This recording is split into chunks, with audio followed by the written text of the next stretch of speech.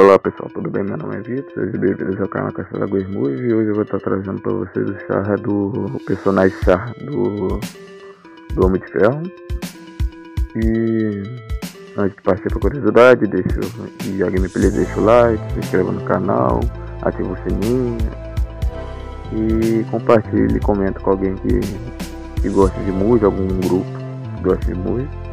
Isso vai ajudar bastante a continuar mantendo os personagens, fazendo os personagens e postando os personagens aqui no canal.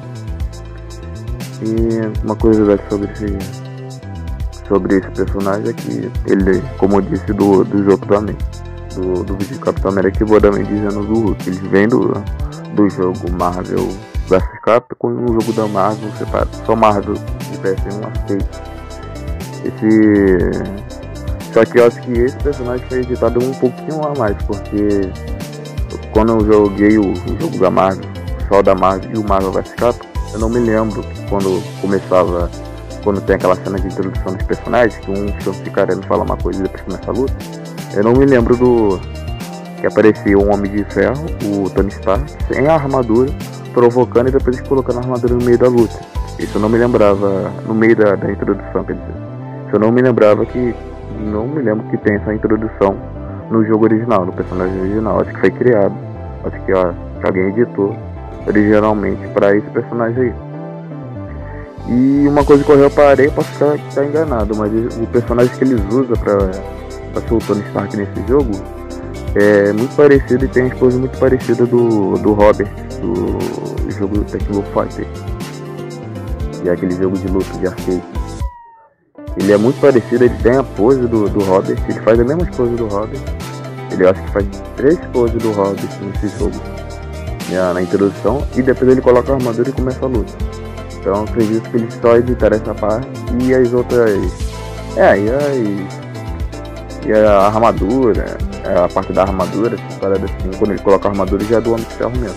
Os ataques bem parecido com o Homem de Ferro, todo redefinido.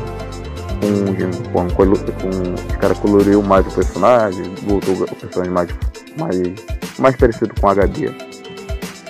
E uma coisa engraçada e interessante é que se você não souber jogar com esse personagem, eu até agora só percebi, eu percebi isso com ele, não percebi com outro personagem, pode quer ter. Se você for no arcade, no modo arcade, que é pra fazer a missão do jogo, que é só lutar com, uma, com muita pessoa, eu acho que o, o máximo de personagens que você pode lutar no arcade sem editar são 7. Quando você vai fazer esse modo arcade, ele e clica no Homem de Ferro, vai aparecer uma introdução do. Alguns personagens têm essa parada de, de vídeo. Eles colocam tipo uma historinha pra. antes de começar o personagem, para mostrar o que é o personagem. Que nem tem no primeiro personagem com o nome como Fullman, que vem quando tu baixa o Mujo. Ele aparece uma, uma historiazinha que a irmã dele acho que foi raptada, alguma coisa assim. Nesse eles não colocaram uma história, um vídeo, uma história do, do Homem de Ferro, só botaram. É, botaram um vídeo que é mostrando todos os combos do, do Homem de Ferro. Isso achei até interessante. Eu me lembro que quando baixei muito a primeira vez tinha um, um duende macabro do, da, da, da Marvel, da DC, é da Marvel, do, dos personagens da Marvel, aquele vilão do Homem-Aranha, ele tinha um, um videozinho que era uma, um, alguns compilados do, do, do episódio do, do Homem-Aranha lutando contra ele. Aí sabe, isso é maneiro, tem como colocar vídeo, mas eu não sei, pô, se eu dar uma procurada na internet eu consigo colocar, mas não acho que é maneiro ficar botando um vídeo em todo o personagem pra quando for numa roda arcade. Mas enfim, é, pra, então antes de ir pra, pra gameplay, deixa o like, compartilha, tu sabe, e partiu.